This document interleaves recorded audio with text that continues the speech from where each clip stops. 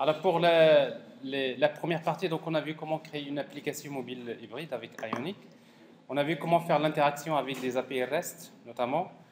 Euh, donc ça, il n'y a pas de problème. On a vu comment euh, notamment utiliser donc la, partie de l'application qui, consiste à chercher des, photos, des galeries de photos dans l'API euh, Pixabay. On a également vu comment interagir avec l'API Météo donc pour afficher les données météorologiques. Bon, la troisième partie, donc je vous rappelle, l'application, la troisième partie, consiste à gérer, une galerie de places.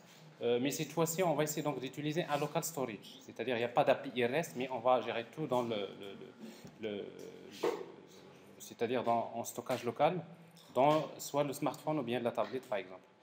Alors en fait, euh, donc euh, ici, donc chaque place est définie par le titre, la ville, le pays, l'instant de la création, parce qu'on a besoin de, garder donc le moment où, par exemple, la place a été enregistrée, les mots-clés euh, et les coordonnées géographiques, à savoir la latitude et euh, longitude. Donc ça, c'est pour euh, faire la géolocalisation. Et après, donc l'application doit permettre donc de saisir, ajouter des places dans un local storage mobile, afficher et chercher des, listes de places, sélectionner, supprimer des places, afficher, géolocaliser une place en utilisant une Google Map, et après prendre des places, des photos en utilisant la, la caméra. Donc ici, donc on va utiliser des fonctionnalités natives du téléphone contrairement aux différentes parties de la dernière fois. Alors, donc ça, c'est ce que c'est ce qu'on avait déjà prévu dans l'application G-App. Alors, dans l'application, on avait déjà créé quelques pages.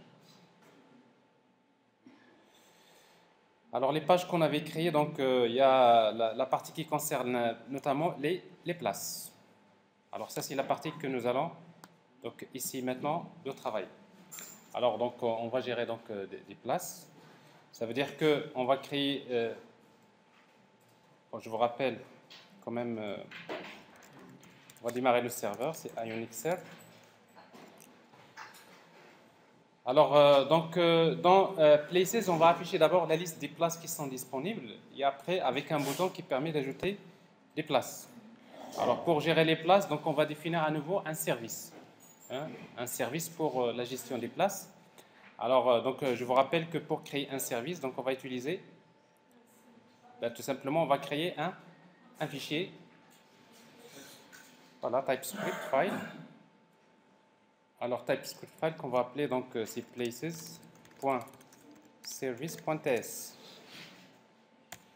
Donc, on, le crée dans le dans la partie service. Et je vous rappelle qu'un service, donc c'est une classe qu'on va appeler places, places, class, voilà. Alors places service. Et comme c'est un service qu'on va injecter, donc on ne va pas oublier d'utiliser, voilà, injectable.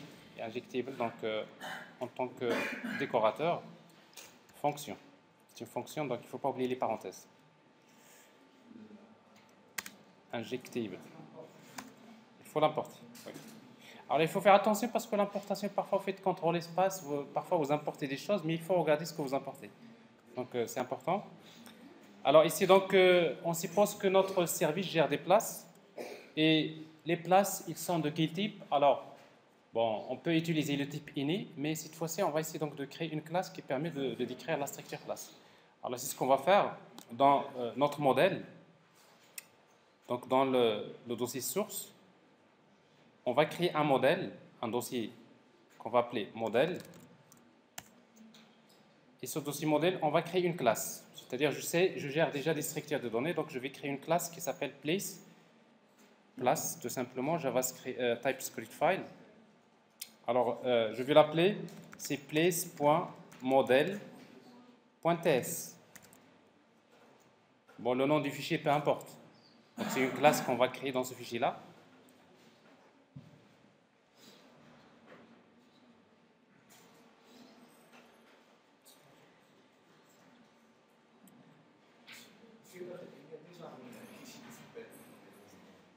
Il y a déjà un fichier qui s'appelle On l'a déjà créé Ça, c'est module.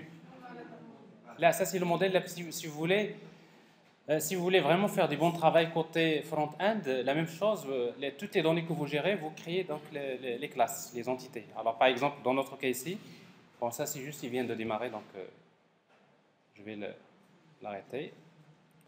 Alors donc, alors pour créer donc une classe, soit vous créez une classe ou bien une interface. Alors en principe ici, donc on va utiliser export classe. La classe, on va l'appeler place, tout court. Et on va définir les, attributs. Donc, euh, une place est définie par title,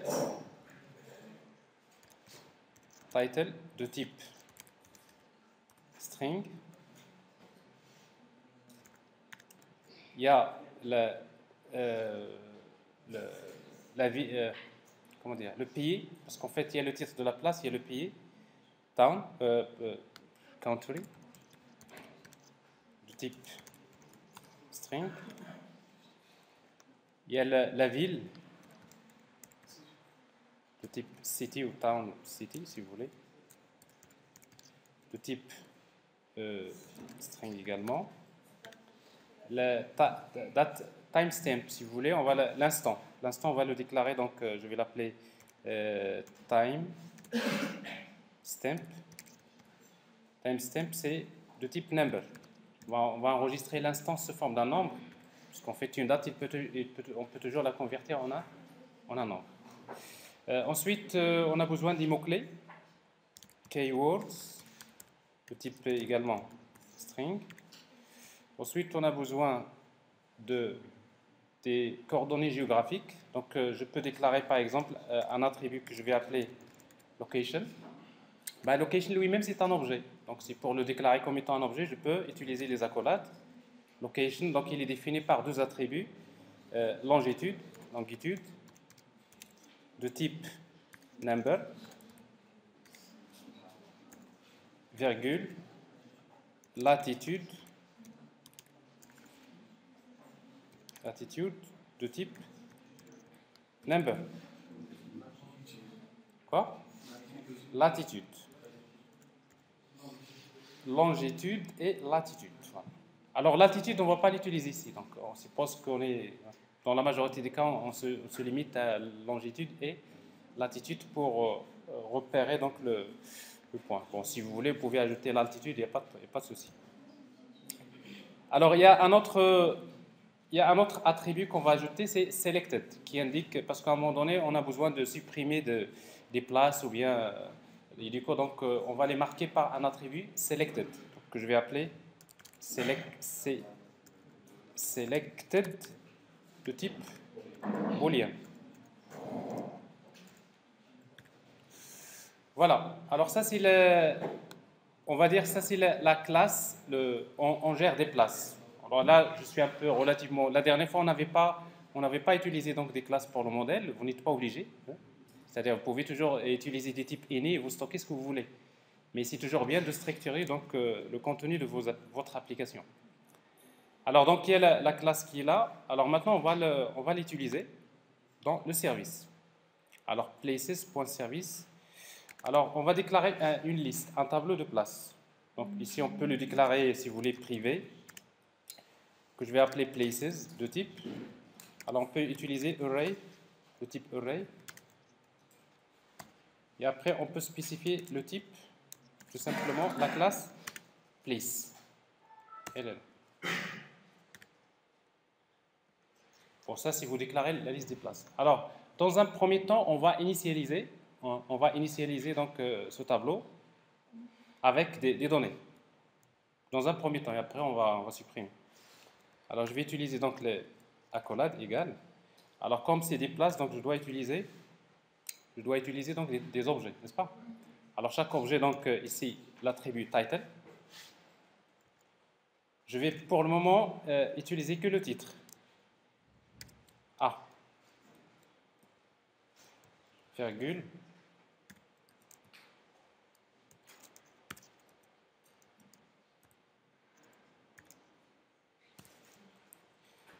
Alors ça c'est B, ça c'est C. Alors seul problème maintenant, c'est que quand vous, vous, déclarez des types structurels, quand vous dites euh, une place, il faut spécifier tous les, attributs. Parce que les attributs qu'on a déclarés dans la classe place, ils n'ont pas de valeur par, par défaut. Donc en principe, on devrait les spécifier.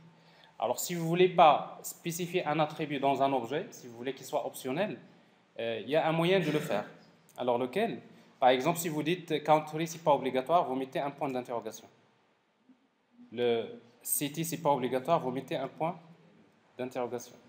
Timestamp, point d'interrogation. Keywords, point d'interrogation. Location, point d'interrogation.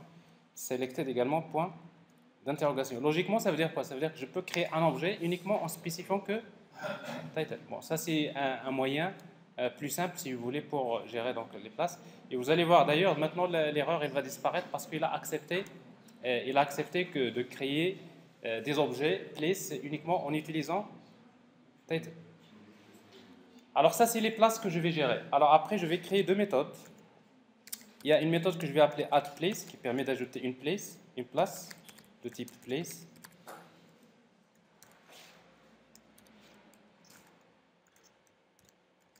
Alors pour ajouter la place, il suffit donc d'aller à la liste 10.places. Alors pour le moment, il n'y a pas de base de données, on va utiliser juste un tableau pour le moment. Donc point, on va utiliser push. Place. Et j'ai une méthode que je vais appeler getAllPlaces qui permet de retourner toutes les places. Tout simplement return 10.places. Voilà. Alors pour le moment, j'ai un service qui est très simple comme ça. Et il me permet donc de gérer, ajouter une place, consulter toutes les places qui se trouvent dans un tableau tout simplement euh, euh, au service. Alors maintenant, on va essayer donc de, pour utiliser ce service, donc je vous rappelle, un service doit être déclaré dans le module. Alors maintenant, vous avez l'habitude de, ces choses-là. Alors le module, alors dans les providers, alors je vais utiliser le service places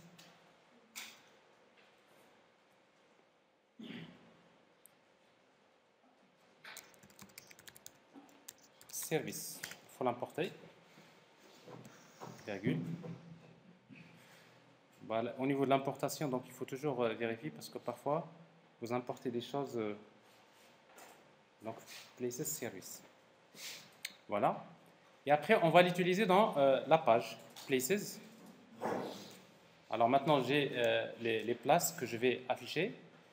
Et qu'est-ce que je vais faire? Donc, j'ai la classe, plutôt la classe des composants. Euh, ici, qu'est-ce que je vais faire? Donc, euh, qu'est-ce que je vais afficher? Je vais afficher une liste de places. Maintenant, c'est ça au niveau de l'affichage.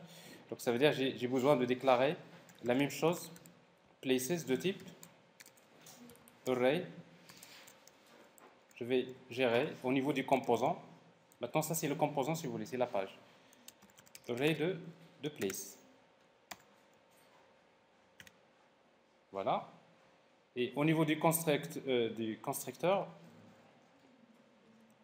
alors en fait, il y a au niveau du cycle de vie généralement des composants dans Angular, ou bien dans, en fait dans Ionic ou Angular, c'est pareil. Euh, alors déjà pour utiliser donc un service, il faut utiliser, il faut l'injecter. Et pour l'injecter, on va utiliser places service de type places service. Alors maintenant, euh, je veux par exemple euh, quand le composant est chargé, je veux chercher les places. Alors, on peut le faire au niveau du constructeur, mais on le fait également euh, au niveau de, euh, de euh, Ion View. Ion View will enter. Alors, si vous voulez, donc, dans le cycle de vie, vous avez Ion View de loader, plutôt s'il est chargé, mais également une fois qu'il est chargé, à chaque fois que la page est chargée, à chaque fois que vous l'affichez, parce que le composant il est instancié une seule fois. À chaque fois que vous l'affichez, la, méthode IonView va s'exécuter. Donc c'est-à-dire qu'une fois qu'il est chargé, donc je vais afficher, euh, bien sûr, le, je vais chercher les places. Comment? Je vais tout simplement faire quelque chose de plus simple ici. 10.places égale à quoi? Je vais vers le service, places service. J'appelle la méthode getAllPlaces. Alors c'est tout ce que je vais faire pour le moment et après je vais afficher cette liste de places. Alors pour l'afficher, c'est dans le euh, dans le, bien sûr la partie HTML. Alors je vais utiliser une liste, Ion list pour le moment. salam. Item. Ion item.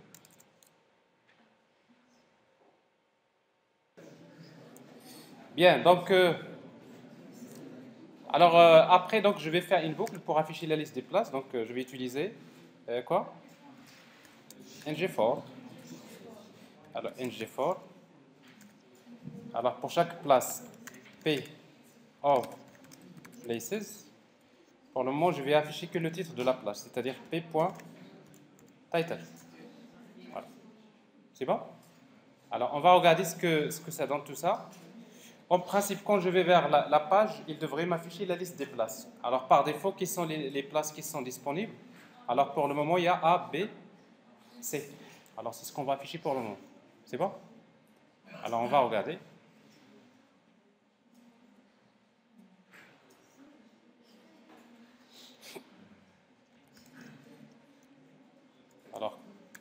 localhost 8100. J'affiche les outils de développement.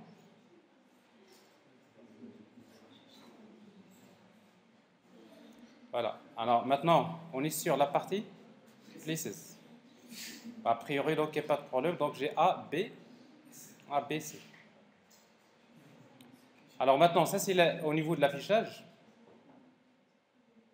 Alors maintenant, on va ajouter un bouton un bouton qui permet d'ajouter une, une place. On va l'ajouter ici dans la barre de, titre, on peut l'ajouter là où vous voulez.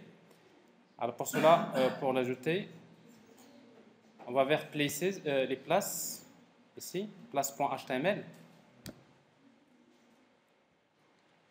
Alors on a déjà un bouton euh, menu toggle, on va ajouter un élément qui s'appelle toujours dans Ion Navbar, Ion Buttons. Si vous voulez ajouter d'autres boutons dans la, barre de, la barre de navigation. Alors on va utiliser ici un bouton,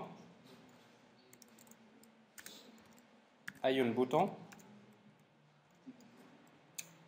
Alors on va utiliser que l'icône, donc on va utiliser icon only. Et quel est l'icône du bouton? On va utiliser Ion icon. Quoi? Les? Voilà, alors justement pour ajouter un, plus, si vous voulez, on va utiliser euh, euh, name, l'icône name égale euh, add. Alors si vous voulez regarder un peu les, icônes et tout ça, vous allez vers la documentation. Ionic Doc. Alors au niveau de la documentation, donc maintenant vous avez l'habitude d'utiliser, donc vous pouvez trouver tout ce que vous voulez. Alors par exemple, si vous cherchez les formes des icônes, vous allez vers euh, les composants. Il est déjà là. Hein.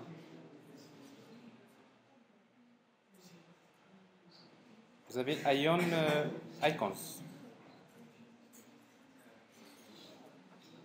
Et après, vous avez toute une liste des, des différentes icônes qui sont proposées dans Ionic, que vous voyez là.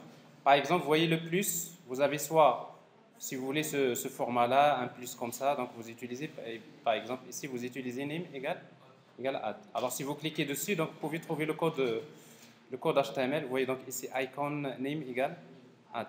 C'est pas compliqué. Ben, c'est exactement ce que je viens de faire. Donc ici vous avez add. Et là, sur le bouton, on va ajouter click. Alors quand je clique, je vais appeler une fonction que je vais appeler onNewPlace.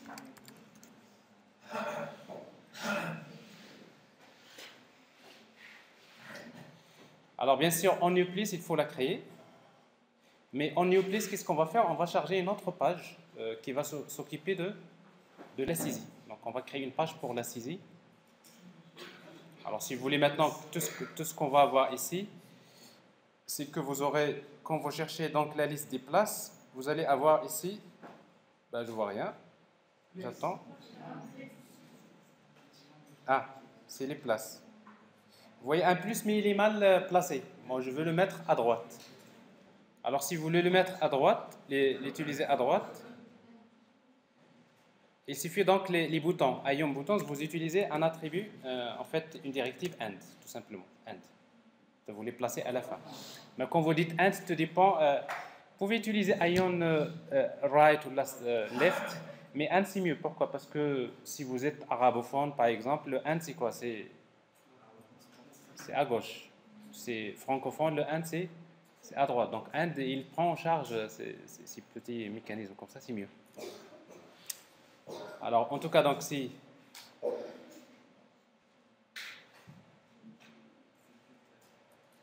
je vais avoir quelque chose comme ça.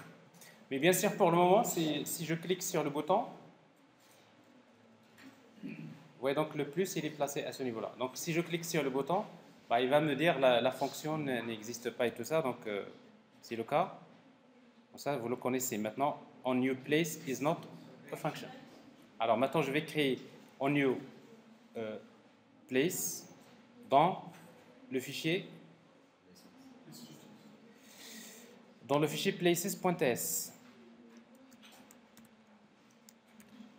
Alors je dois faire des copies-coller pour éviter parfois de problèmes d'orthographe.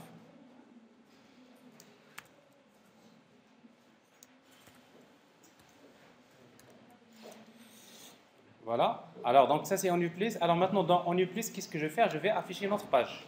Alors cette page, je vais la créer. Alors pour créer cette page, donc euh, je vais à nouveau utiliser quelle commande? Donc c'est Ionic.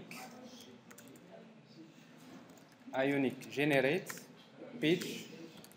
Alors je vais l'appeler new place. C'est bon? Voilà. Donc je crée euh, la place.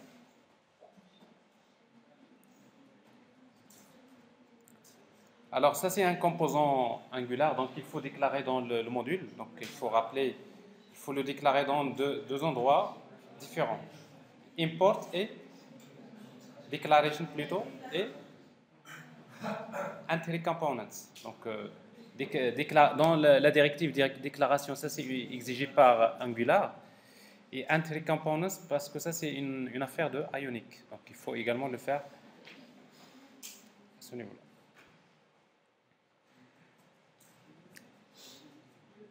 Alors bien sûr, plus, ça devrait se faire plus rapidement que ça. Et en patiente.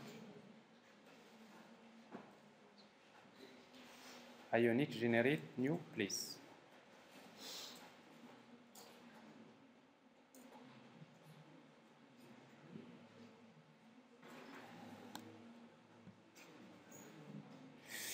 Voilà, c'est généré. Alors, euh, dans le module app.module.ts, donc euh, au niveau de déclaration, on a déjà déclaré quelques pages avant. Je vais ajouter une autre.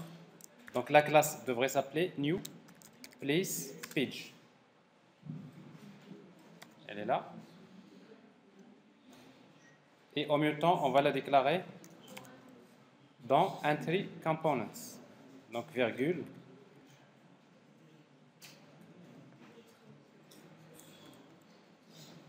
Alors ça, c'est la, déclaration.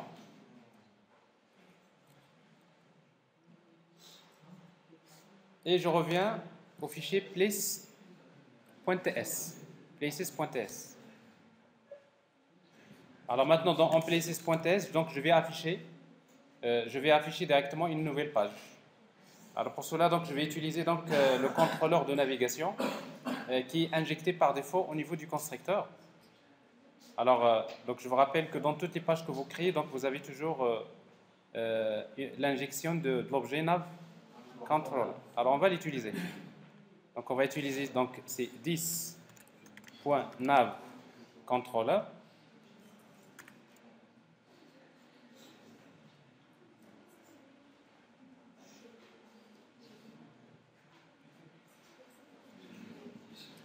Point quoi? Push. Donc je vous rappelle que le système de navigation de Ionic se base sur, euh, se base sur euh, une pile dans laquelle il va placer donc, euh, les, différentes pages. Donc push permet d'ajouter la page à, à, la pile, ce qui, va se faire, ce qui va provoquer son affichage. Et pop permet de, de la supprimer, ce qui permet d'afficher la page précédente. Alors ici, donc, on va afficher quoi? La, la page s'appelle New Place Page. Voilà. Alors, juste ce qu'on va faire, c'est que dans New Place Page, on va arranger un peu euh, l'affichage. Donc, New Place. Alors ici, donc, je vais prendre euh, le code HTML de, pour ne pas faire... Il faut être le même code HTML que j'ai ici.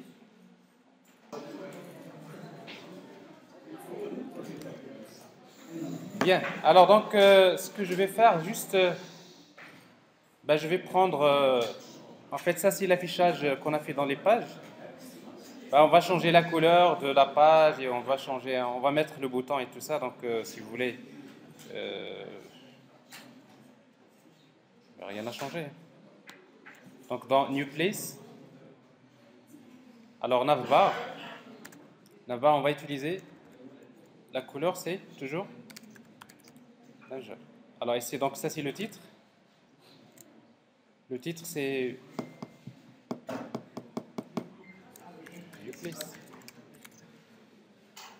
Et après, si vous voulez créer donc un, bouton euh, menu, je vous rappelle comment le faire. Ce bouton.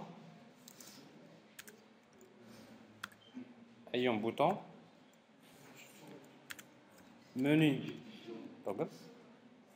Et après, vous utilisez l'icône. Ayons icon. Et l'icône, c'est menu. Voilà. Alors ça, c'est la, page, si vous voulez, pour le moment. Mais après, on va ajouter un formulaire dans lequel on va saisir les données. Mais on va vérifier déjà ce qu'on a.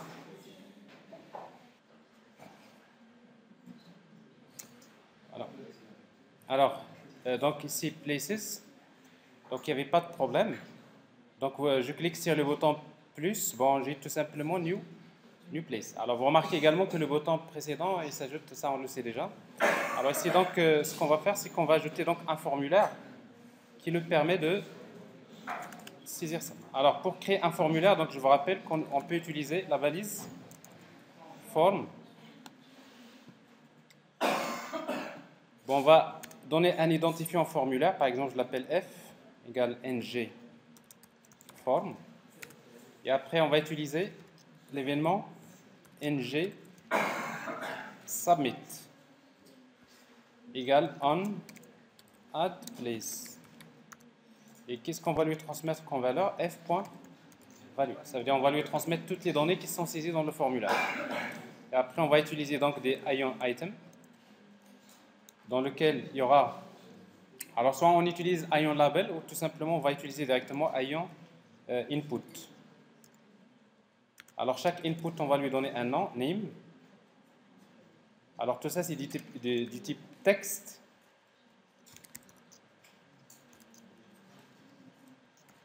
Name, c'est title. Ça, c'est le titre de la place. Alors pour euh, l'intégrer dans le modèle, on va utiliser ng model. Donc ça, ng model. Quoi d'autre? Euh, obligatoire si vous voulez. Donc si vous voulez que ce soit nécessaire, c'est tout. Alors on va faire la même chose et après place, euh, place, euh, place holder. Bon. Parce que si vous ne mettez pas un label, il faut mettre un placeholder. Et c'est donc c'est title.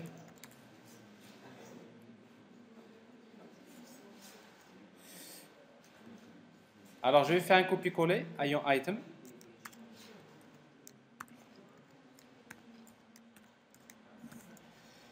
Alors, j'ai le titre, j'ai euh, country, j'ai city, j'ai quoi d'autre? Keywords.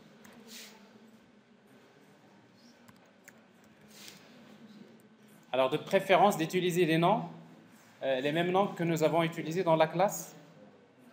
Place, euh, model. Alors ici, donc, vous voyez keywords, bon, ça c'est pareil.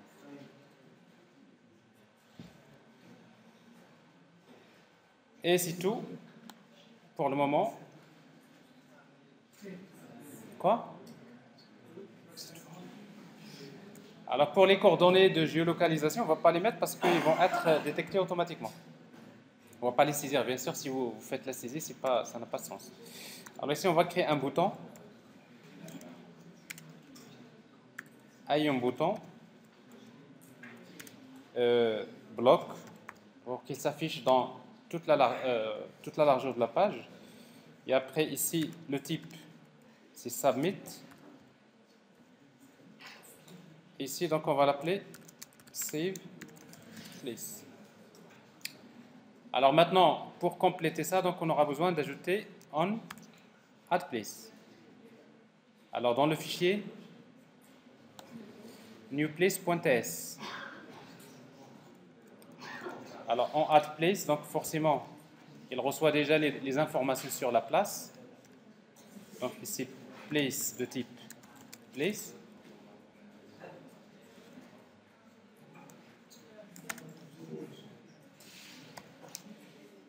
Et après, on a besoin du service. Alors le service, euh, donc on va l'injecter. Le service qui permet d'ajouter des places et pour l'injecter, on va utiliser à nouveau donc euh, public ou bien private. Donc euh, c'est places service de type places service. Une fois déclaré, ici, qu'est-ce qu'on va faire? On va tout simplement faire 10.places service. Point. J'ai déjà une méthode qui s'appelle add place et j'ajoute directement la place qui a été saisie. Donc je demande au service d'ajouter cette place, mais une fois que je l'ajoute, euh, je, reviens, je reviens à la page précédente. C'est-à-dire je reviens à la liste des places pour voir est-ce qu'il a été ajouté. Alors tout simplement, pour faire ça, qu'est-ce que je, je, dois utiliser? 10.nav controller.pop. Alors si vous dites pop, ça veut dire quoi? Ça veut dire que je reviens à la page précédente. On va tester. Alors ici, donc, vous voyez déjà, euh, dans un premier temps, comment saisir, ajouter des places, afficher les places. Mais toutes les places sont stockées dans une liste, dans un tableau, en mémoire. Donc il n'y a pas de stockage physique.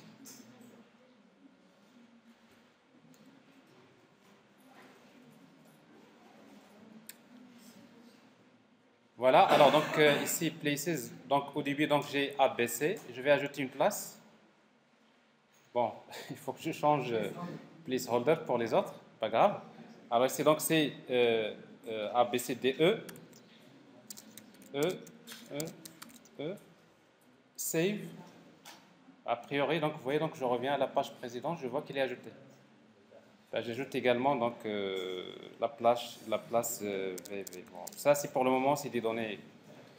Alors ça, ça, permet d'ajouter donc euh, les données, mais si vous actualisez, vous, vous démarrez votre application, alors qu'est-ce que vous allez voir? Ben, Simplement, les données vont être perdues, parce qu'ils sont stockés en mémoire, ils ne sont pas stockés dans un stockage persistant.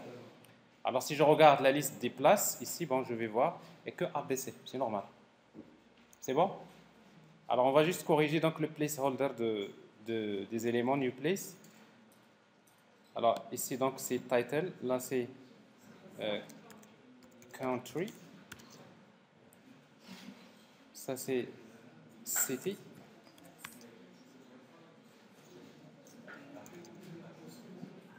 Et là c'est keywords.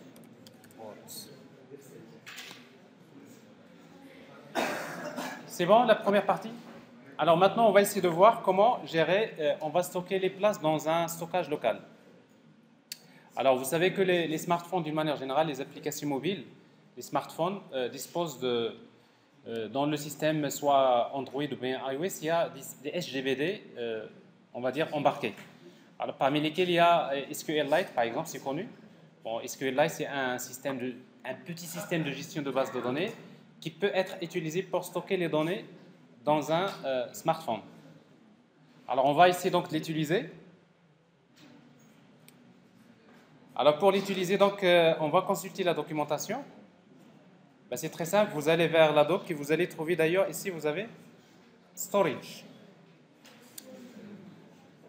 Alors, si vous cherchez dans Storage, vous allez trouver la démarche. Alors, si vous voulez utiliser donc le, local storage, donc vous avez d'abord, il vous faut le plugin Cordova.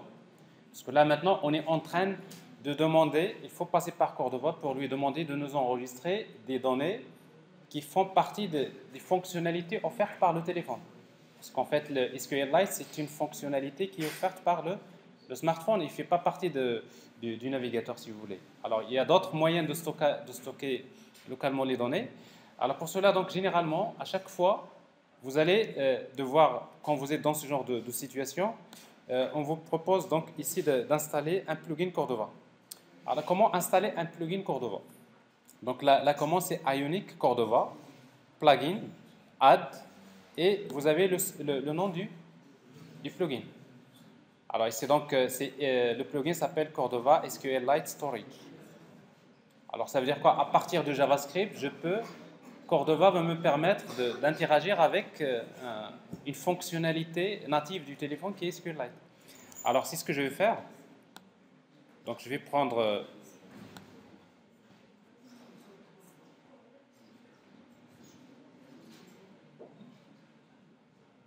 Je crois que c'est pas lisible pour vous, n'est-ce pas? Alors, copier. Alors, dans l'application, donc euh, ici, dans l'invite de commande, je vais, je vais faire coller. Alors, ça, c'est la première des choses. Donc, vous installez le plugin Cordova. Et on va faire la même chose pour gérer, faire le local, plutôt la géolocalisation. Et on va faire la même chose pour gérer la caméra. Alors, tout ça, c'est les fonctionnalités natives du téléphone, du smartphone, si vous voulez. Il faut d'abord un plugin Cordova qui permet à votre application JavaScript, soi-disant, euh, d'interagir avec, euh, avec cette fonctionnalité. Alors, le plugin Cordova, donc, il va être utile donc, euh, quand vous serez vraiment dans le téléphone, à votre application, quand vous serez dans le device, le, device physique, si vous voulez. mais si vous voulez quand même accéder à ces fonctionnalités-là, ben, il vous faut maintenant l'API pour, il faut installer le package pour votre application. Et du coup, donc, vous allez encore utiliser npm install ionic storage. Alors d'ailleurs, il vous dit que euh, en fait, il, vient par défaut avec Ionic version 1. Normalement, il y a parfois ces, API-là, ils viennent euh, avec Ionic. Euh, nous, on va l'installer comme ça, CTRL-C. Donc, je, vous rappelle, il y a deux parties. Donc, quand vous utilisez donc un plugin Cordova, il faut utiliser donc la, la commande de Ionic Cordova Plugin Add pour ajouter le plugin d'abord, Cordova. Deuxième, pour l'exploiter dans votre application, il vous faut une API, c'est-à-dire les classes que vous allez utiliser ou bien les interfaces que vous allez utiliser euh, directement dans votre application, ben, il faut les installer en utilisant NPM. Donc voilà ce que vous allez euh, utiliser dans votre application.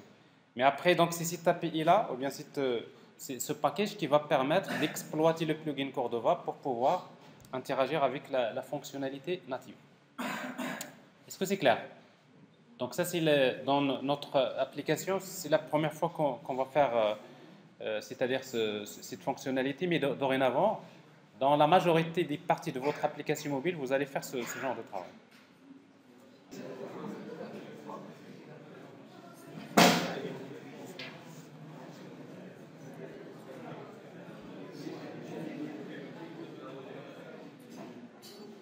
Voilà.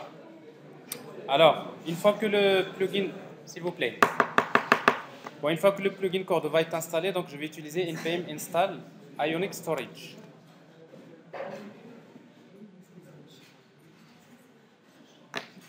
Et vous continuez dans la documentation et après vous avez le mécanisme. Alors maintenant comment S'il vous plaît. Alors par la suite, tout devient simple parce que pour utiliser donc euh, Ionic Storage, il faut d'abord l'importer dans le module principal. Comment? Ben, Vous utilisez Ionic Storage euh, pour euh, faire la config par défaut.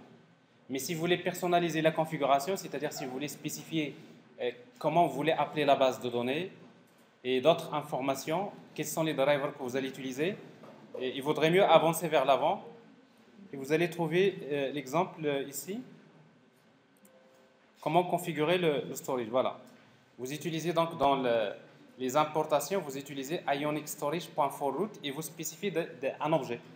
parmi lesquels il y a name, ça, vous permet de spécifier le nom de la base de données locale, si vous voulez. Et après, vous savez qu'en local storage, il existe plusieurs drivers. En fait, il n'y a pas que SQLite. Avec, euh, euh, si vous voulez, Ionic Storage, on peut utiliser euh, IndexedDB qui est fourni par avec les, navigateurs. C'est un driver qui permet de, faire également le stockage. On peut utiliser SQLite, on peut utiliser WebSQL. Il existe plusieurs euh, mécanismes actuellement qui sont fournis par les, navigateurs, les micro-navigateurs ou bien les navigateurs. Euh, alors ici, donc, ça c'est l'ordre. C'est-à-dire quoi? Quand votre application s'exécute, euh, s'il trouve IndexedDB, il va l'utiliser. S'il ne le trouve pas, il va utiliser SQLite. S'il ne le trouve pas, il va, il va utiliser WebSQL. Alors c'est exactement ce que je vais faire. Donc je vais prendre ça, CTRL-C, et je vais le déclarer dans le module. Maintenant l'installation a été faite, donc je vais déclarer donc le Ionic Storage dans le, fichier module principal. Alors à quel niveau dans les importations? Alors import, ici, virgule, CTRL V. Alors vous voyez donc c'est Ionic Storage Module qu'il faut importer.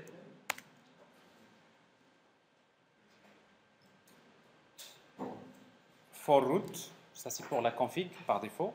Alors le nom de la base de données, je vais l'appeler par exemple my, euh, MyDB. MyDB Places par exemple. Je l'appelle comme ça. DB Places. Places Data. Voilà, c'est tout. Alors ça, c'est au niveau de l'installation et la configuration. Alors si vous faites ça, alors par la suite, les choses deviennent plus simples. Alors maintenant, on va changer dans le service. Comment utiliser le local storage? Alors, notre service que nous avons créé tout à l'heure, il est là. Alors maintenant, dans Add Place, maintenant Add Place, on ne va pas l'ajouter directement dans le, le tableau. On va l'ajouter au tableau Places, mais en même temps, on va enregistrer tout le tableau dans le local storage. Comment? Alors on va utiliser donc euh, l'objet storage. Alors pour l'utiliser, il faut l'injecter dans le service. Alors pour injecter un, euh, plutôt un, service, donc on le fait au niveau du constructeur. Alors on va utiliser donc euh, public ou bien privé, private, public, storage de type, vous déclarez un objet de type storage. Alors il faut faire attention parce que là justement, regardez, dans l'importation, il n'a rien importé. Faire attention, vous reprenez et vous choisissez donc storage. Il faut être sûr que vous avez l'importation de Ionic Storage. Parce que parfois, il utilise des classes qui sont définies par défaut et pour vous, tout marche bien, mais après, il vous dit que ça, c'est pas bon. Il faut toujours euh, s'assurer qu'il est importé. Alors maintenant, pour enregistrer donc euh, euh, des, objets JSON, soit un tableau ou bien n'importe quelle structure, ben, il suffit d'utiliser this.storage.set. On va ajouter une clé valeur. Alors, comment il s'appelle la clé? Je vais ajouter dans la base de données une, une collection qui s'appelle places. C'est quoi la valeur? C'est tout simplement c'est 10.places. Alors ça c'est suffisant, c'est-à-dire que ici donc je dis bah, j'ajoute, c'est vrai, j'ai une liste, mais quand j'ajoute, je, je, vais rendre cette liste persistante. Ça veut dire que je vais l'enregistrer complètement dans storage. Alors que pour, pour retourner, pour consulter, c'est un peu différent. Pourquoi? Parce qu'on va utiliser euh, ici return 10.storage.get. Alors la clé, comment il s'appelle? Places. Alors, euh, en fait, get, il retourne une, euh, une promesse. Donc, ça veut dire qu'il faut utiliser point then data et vous ouvrez les accolades. Get, j'attends. En fait, une fois que j'ai le résultat, alors ce résultat, je vais le stocker d'abord dans la liste 10.places égale à quoi? Égale data. Mais il se peut que euh, la première fois, il se peut que la data n'existe pas. C'est-à-dire la, la, première fois, si vous voulez afficher, euh, il va vous retourner quoi? Il va vous retourner nul, n'est-ce pas? Alors c'est pour cela qu'on va faire un test. on va dire data, s'il est différent, s'il est différent de nul, deux points, on va retourner data. Enfin, c'est-à-dire on va prendre data. Sinon, c'est pas deux points, c'est point d'interrogation. Deux points, on va utiliser tout simplement un tableau vide. C'est-à-dire quoi? C'est-à-dire si le local storage euh, tout simplement ne contient rien, donc je suppose que la liste c'est un tableau qui est, qui vide. Et après, donc, euh, on va retourner return 10.places. Voilà. Alors ça c'est euh, au niveau stockage local. Alors maintenant je reviens à la page parce qu'il y aura une petite modification à faire au niveau de la page places.ts. Vous allez d'ailleurs remarquer qu'il va vous souligner en rouge.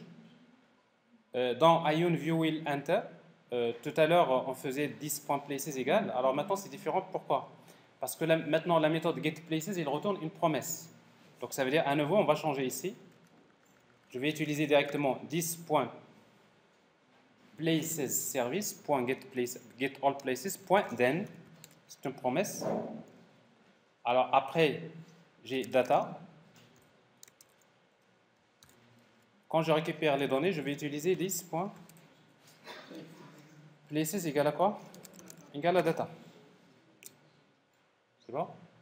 Et après, si vous voulez gérer le cas où il y a des erreurs, vous mettez point .catch. Point. C'est-à-dire s'il y a un problème. Alors, on va vérifier si ça marche.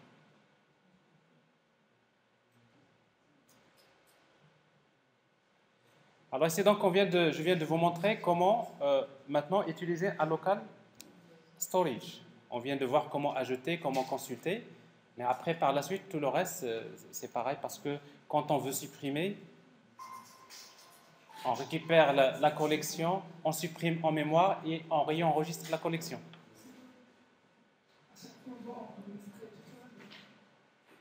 Alors ça, c'est différent. Ce n'est pas une... Euh, il y a, d'autres moyens qui vous permettent d'accéder à... Euh, on, va, on va parler de ça. Mais en principe, généralement, en local storage, euh, c'est-à-dire, c'est souvent c'est comme ça que ça se passe. C'est-à-dire, vous, vous travaillez, vous stockez un objet. Si vous voulez stocker, euh, si vous voulez faire le stockage objet par objet, vous pouvez le faire. C'est-à-dire, vous faites une boucle et après vous dites, euh, vous ajoutez, c'est tout. Oui, vous écrasez l'ancien.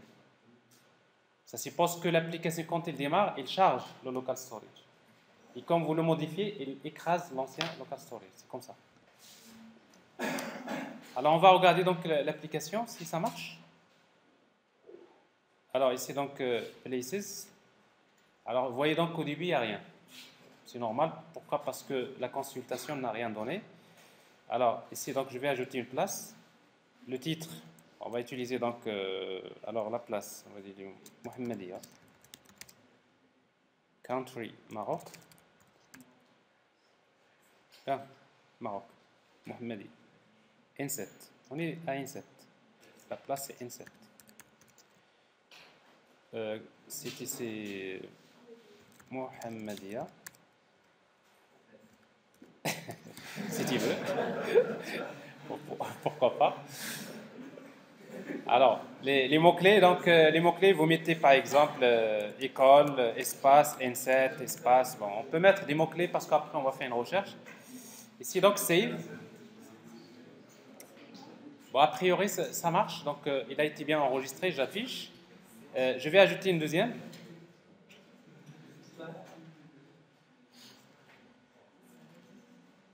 Alors, une place A.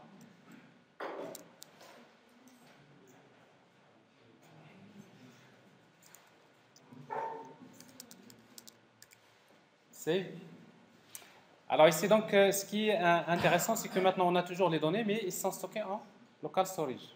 Alors on va regarder où est-ce qu'ils sont stockés. Alors si vous voulez voir le stockage, parce que vous êtes dans un browser, on va regarder dans le, les, les, applications. Alors dans applications, vous allez voir, dans applications, vous allez trouver une partie carrément qui est dédiée au storage. Alors il existe, il y a local storage, ça on ne l'a pas utilisé, le, le, stockage local, elle est classique, mais ici donc il faut chercher dans index DB ou bien dans web SQL. Alors, euh, comme ici, donc, il, va, il a trouvé IndexDB, dans l'ordre, il l'a utilisé. Et ma base de données, comment il s'appelle déjà? Alors, il s'appelle My. Alors, c'est pas ça. Parce qu'en fait, j'ai déjà une euh, qui est euh, avant. C'est Place Data. C'est ça? Place Data. Alors, il, n'est pas là, donc je vais fermer les, outils de développement et je réaffiche. Alors, ça, c'est une affaire du navigateur. Alors en tout cas, moi, pour, euh, pour toujours regarder parfois les modifications dans le local storage, vous voyez donc ici, vous avez Places Data. Alors si vous regardez ce qu'il contient, vous trouverez donc euh, les clés. Et si vous regardez bien ce qu'il y a, il y a la clé, c'est quoi? C'est Places et les données. Il y a deux enregistrements. Il y a le premier et le deuxième. Alors ça, c'est réglé donc euh, dans votre même navigateur, dans une application web classique. Vous pouvez utiliser le local storage, c'est important. Oui Alors quand on enregistre une image, donc on enregistre soit en format, euh, on enregistre que le nom de l'image, n'est-ce pas? Ben, L'image elle-même, il faut la stocker dans le cache quelque part du navigateur, euh, ou tout simplement vous l'enregistrez en format base 64. Il dit quoi donc vous l'enregistrez en format texte. Il dit quoi donc il fait partie des attributs de, euh, de, de l'application. Et d'ailleurs, on y arrivera parce qu'on n'a pas encore terminé, parce que notre place, pour chaque place, on va enregistrer des images. N'est-ce pas? Et justement, les images, euh, on n'a pas déclaré dans la classe place, mais euh, après, on va ajouter un attribut photo, un tableau de photos qu'on va ajouter. Oui.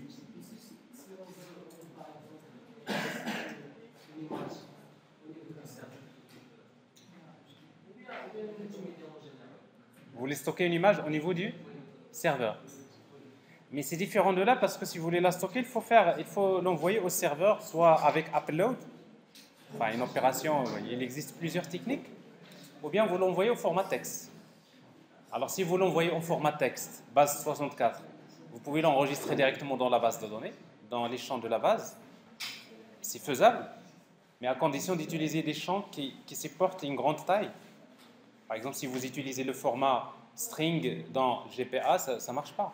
Il faut utiliser donc euh, la notation qui permet d'indiquer qu'il faut utiliser texte et quel texte il faut utiliser langue texte. Donc ça, c'est des...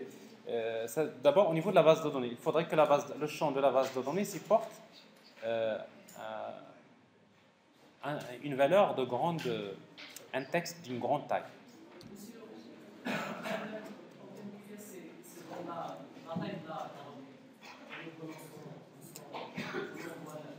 On va, comme c'est un autre sujet, il faut, je crois qu'on va en parler. D'accord? Parce que je, vois que tu as un problème, toi, dans la partie serveur, dans l'envoi et la réception. Bah, écoute, tu, n'as pas, tu, n'as pas 50 000 solutions de toute façon. Ça n'existe pas.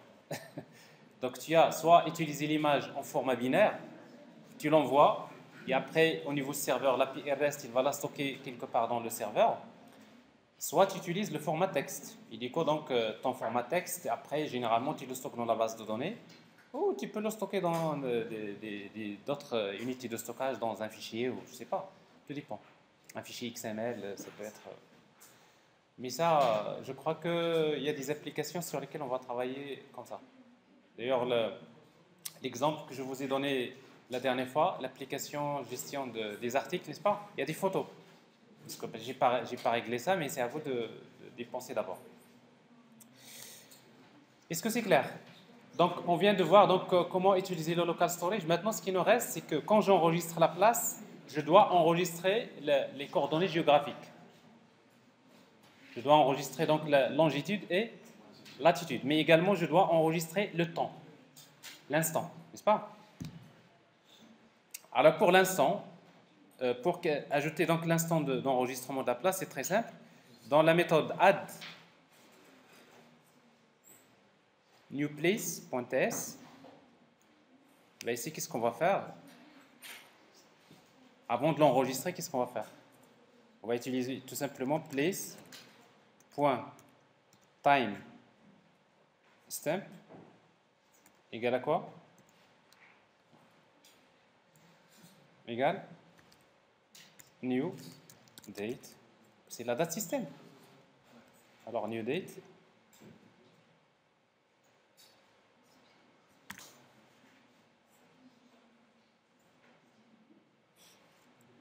get time si vous voulez. Indeed.getTime. C'est bien ça? Alors ici, donc, nous avons un attribut timestamp.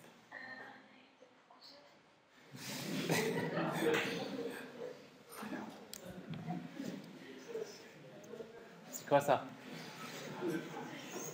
Ça communique de l'extérieur Alors, je vais ajouter une place. Ajouter. Bon, une place B. Bon, il est ajouté, mais si je regarde dans le... Bien sûr, ici, donc si vous regardez à nouveau, donc vous n'allez pas trouver, s'il vous plaît. Alors à nouveau, donc je vais voir mon local storage à nouveau.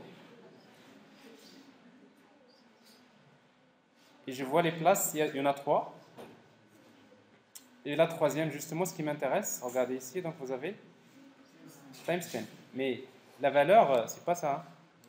Hein. La valeur, c'est c'est time. Tout simplement, c'est la date euh, actuelle, n'est-ce pas? Alors ça, c'est réglé. Alors maintenant, on va régler également le local, euh, plutôt les coordonnées de géolocalisation. Alors à nouveau, on a besoin d'utiliser un autre plugin Cordova.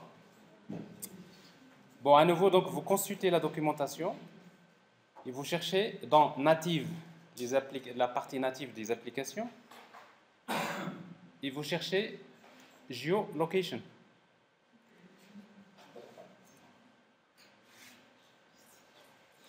Bon, de toute façon, c'est classé par ordre alphabétique, ce qui permet de faciliter la chose. Sinon, vous faites rechercher geolocation, G.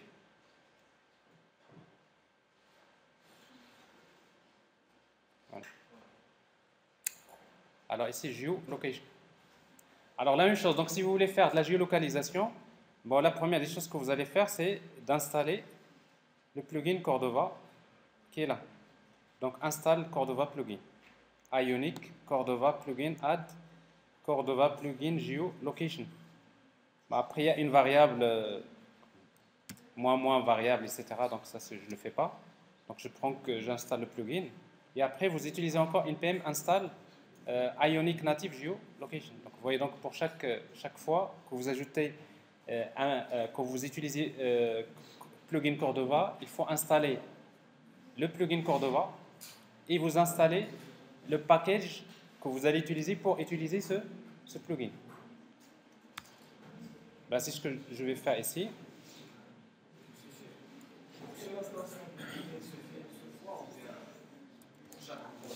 Bon, là, c'est au niveau de l'application. Alors, ça, c'est des choses que vous faites pour votre application.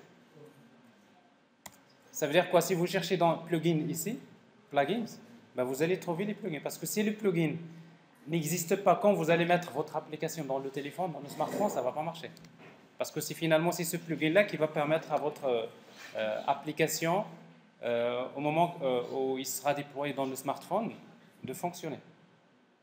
Donc il ne faut pas chercher à faire un truc global comme ça, parce que si vous le faites global, à la fin, il faut, de toute façon, il doit accompagner votre application. Donc il faut le faire à chaque fois. Pour chaque application, là où vous allez utiliser donc le, un plugin Cordova, il faut l'installer. Alors bien sûr c'est rapide, mais j'ai toujours euh,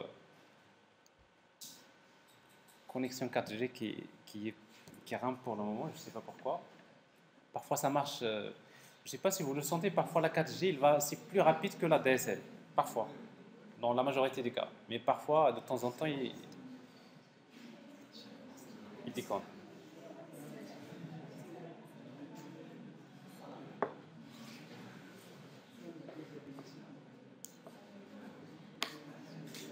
Alors bien sûr, je comprends pour vous, comme c'est plus rapide, vous la consommez très rapidement. Euh, hein. Après, il faut payer pour, euh, pour charger. Pour, euh, et quand vous êtes des étudiants, donc il faut aller vers un café, là où il y a la connexion. Je crois que tout calcul fait, c'est si vous habitez en groupe, vous faites quand même une solution, une connexion ADSL. Parfois, c'est mieux que... N'est-ce pas C'est ce que vous faites? Ah voilà. Donc c'est bien.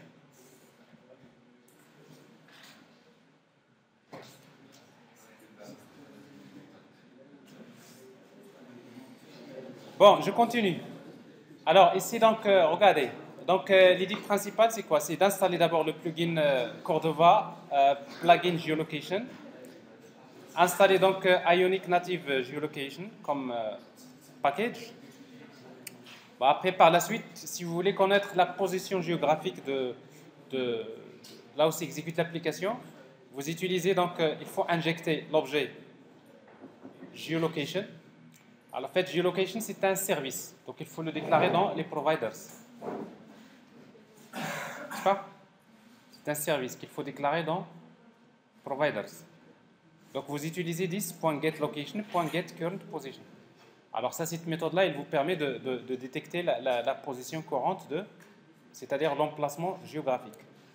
Et après, comme il retourne une promesse, on va utiliser .den, la réponse qui vous retourne la position actuelle.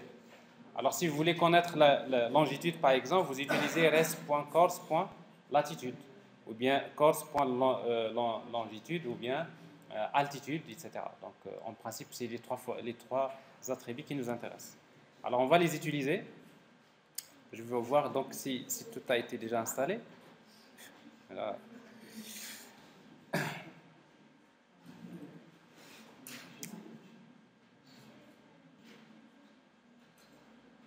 Alors si vous voulez gérer donc le cas, l'exception, vous utilisez point catch, point den, point catch. Alors nous, bien sûr, on va faire les deux cas. Parce que parfois, si, surtout au niveau géolocalisation, il faut prévoir si ça ne marche pas. Parce que si l'utilisateur n'active pas, refuse d'activer son, euh, c'est-à-dire la géolocalisation, ben, ça veut dire que ça va générer un, catch. Et si vous gérez un cache, il faut prévoir ce que vous voulez faire. Vous prenez par exemple des valeurs par défaut. Alors je vais prendre euh, à nouveau donc npm install Ionic Native Geolocation. Et je vais, je vais l'installer. Alors généralement, le, en termes de, si vous voulez, de capacité, le, plugin Cordova pèse plus que l'API, c'est-à-dire que le package. Ça veut dire que l'installation du package, généralement, c'est rapide. Alors que l'installation du plugin, parfois, tout dépend, il y a des plugins qui, sont relativement lourds, euh, qui prennent plus de temps. Mais d'une manière générale, tout ça devrait, euh, si vous êtes dans une situation de connexion normale, tout se fait assez rapidement.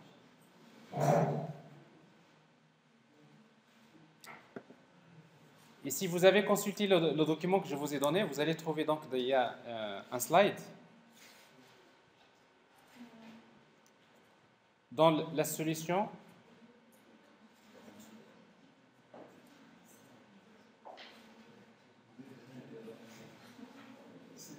Voilà les pages qu'il faut générer.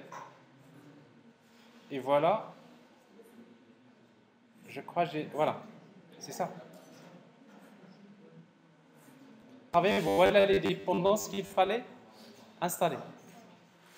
Alors d'ailleurs, à chaque fois que vous créez un projet, si vous savez préalablement que vous allez utiliser ça, vous créez le projet, vous dites Ionic Cordova plugin add Cordova euh, SQL storage. Euh, npm install Ionic storage. La même chose pour euh, la, caméra, hein, parce que ça, on va l'utiliser par la suite.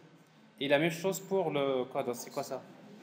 Bon, ça, c'est d'autres éléments que je vais vous montrer par la suite pour Google Maps. Et également, on va faire la même chose pour euh, l'Angprest. En fait, ça, c'est des, des, dépendances, mais ça, c'est pas un plugin, euh, si vous voulez, c'est pas des plugins Cordova, c'est plus des, des dépendances. Alors, une fois qu'il est installé, donc si vous voulez utiliser donc la géolocalisation, il faut d'abord déclarer dans le module app.module.ts au niveau de, des providers vous devrez utiliser geolocation. Alors la même chose, laquelle? Alors vous utilisez parce que ça, ça fait partie de ECMAScript 6. Alors moi je vais utiliser celle-là que j'ai dans mon package. Alors et tout cela, il faut toujours vérifier que c'est importé, c'est bien le bon package. Parce que si vous choisissez l'autre, d'ailleurs il ne va rien importer parce que dans euh, euh ECMAScript 6 par exemple, il y a déjà il y a une classe pareille, GeoLocation, qui est déjà prévue. D'ailleurs, que vous pouvez utiliser aussi. C'est bon? Est-ce que vous suivez? Alors maintenant, on vient, je viens de vous montrer juste comment installer les dépendances. Alors maintenant, où est-ce qu'on va utiliser tout ça? Ben, On va revenir vers le newplace.ts, ici. Là, on va changer des choses. Alors, je définis la date.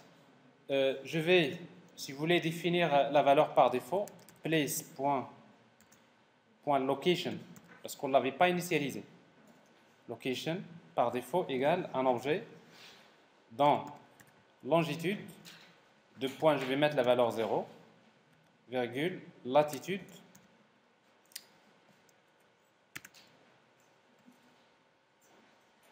de point 0, euh, latitude, oui Je me suis trompé dans le latitude. Alors, dans la classe place, place modèle.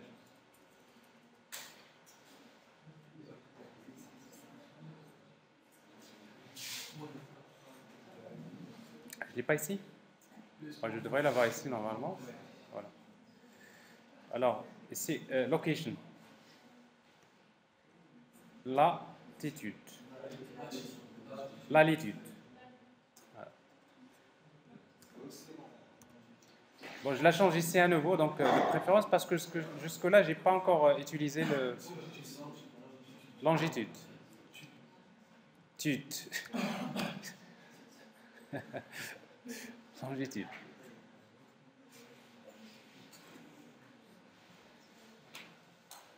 Bon, alors ici donc c'est D, et là c'est D. Longitude, latitude. Bon, jusque-là, on n'a pas utilisé ces, attributs quelque part. Non? On ne les a pas encore utilisés. Bon, ça c'est la, première des choses. Et maintenant, je vais utiliser donc euh, le système géolocation. Je vais utiliser donc le geolocation, euh, donc je dois l'injecter. Alors pour l'injecter, donc je vais utiliser donc le constructeur public geolocation de type geolocation. Alors la même chose, donc il faut faire attention à ce que vous importez.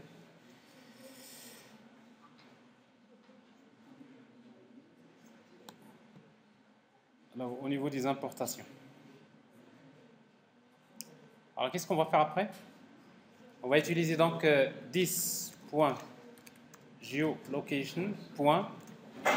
10.geolocation.getCurrentPosition. Alors, getCurrentPosition, ça, ça, ça, va retourner une, une donnée, position. Bon, c'est pas comme ça, c'est den. Point den dans then, on va utiliser position. Voilà. Et on va utiliser encore point catch. Error. Donc on va prévoir les deux cas. Alors maintenant, s'il me détecte la position, donc je vais utiliser place point, euh, point location place.location.longitude à quoi est égal? C'est égal position, point coordonnées, point longitude. Donc je récupère la longitude. Fournie. La même chose, place.location.latitude égale position, point. Point. Latitude. Alors ici donc, une fois que j'ai ça, je vais enregistrer. Et pour enregistrer, je vais faire ça CTRL X. Voilà, une fois que une fois que je récupère la position, ça y est, je l'enregistre. Sinon, s'il y a problème, je vais utiliser. Alors là, je vais faire quelque chose de pas très joli. S'il y a problème, je vais supposer que la valeur c'est c'est zéro, n'est-ce pas? C'est-à-dire il, a du mal à détecter la, position pour plein de raisons. Après, donc, je vais dire que longitude égale 0, j'enregistre la place et je fais un pop, par exemple. Mais là, vous êtes en train de reprendre le même code, euh, ce qui fait que vous pouvez penser à créer une fonction hein, une fonction euh, qui fait ça et après que vous allez appeler. Est-ce que, vous, est-ce que vous voyez? Est-ce que c'est clair? Parce que là, des codes comme ça qui se répètent comme ça, c'est pas très conseillé, surtout à votre niveau.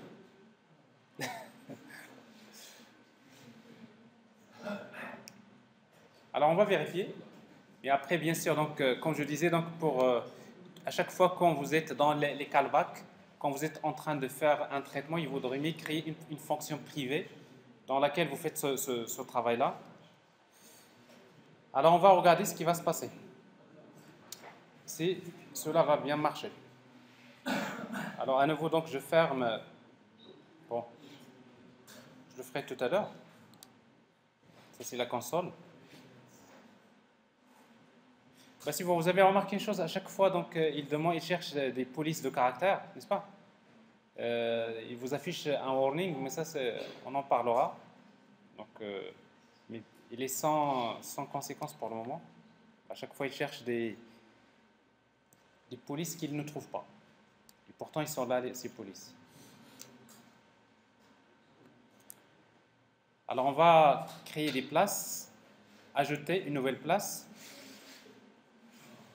Alors, il y a erreur.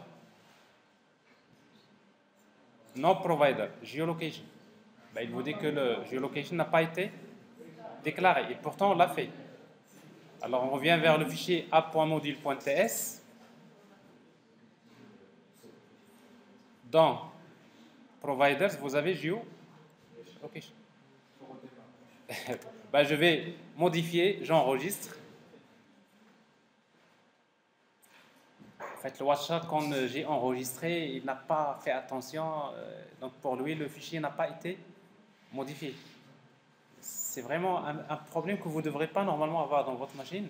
Euh, moi, en tout cas, je l'ai pour le moment, de temps en temps. Euh, parce que quand j'enregistre avec Camtasia, donc plein écran comme ça, ça consomme beaucoup de, temps. Mais ça, c'est des petits soucis. Mais en tout cas, donc, ce que je viens de faire, je vais juste, j'ai réenregistré. Forcément, il va recompiler et il devrait retrouver le, les éléments.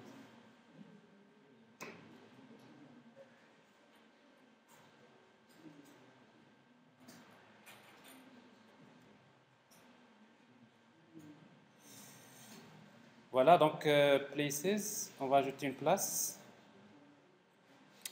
Alors donc, euh, pas de problème, vous voyez, donc euh, la place P,